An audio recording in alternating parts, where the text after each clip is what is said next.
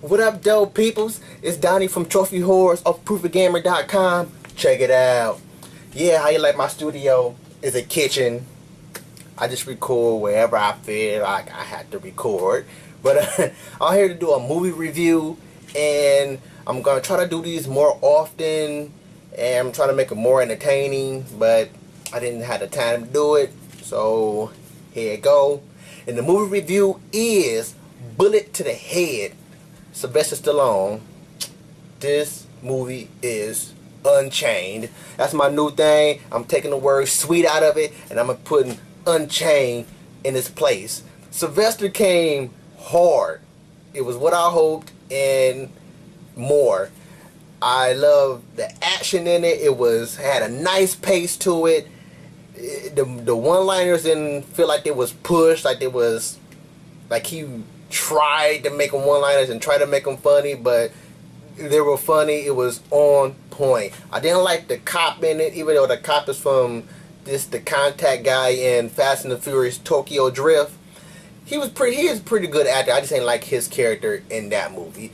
Sylvester's character. Oh, I am digging this character so much. Like this is one of Sylvester's best in my opinion. I love his character in this movie.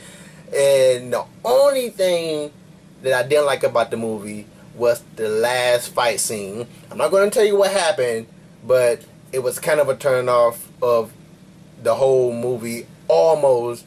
But people go see this movie. I would pay full price for this movie, and Sylvester get at least a good two more action-packed movies in him, being his old age.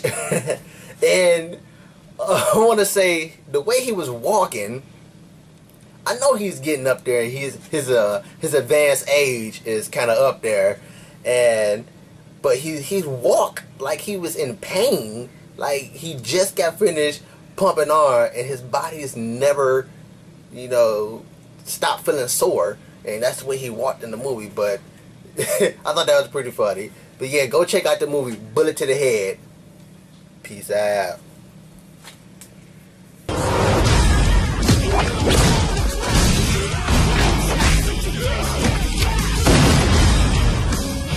You and me got a little unfinished business to take care of. You're gonna fight or you plan on boring me to death?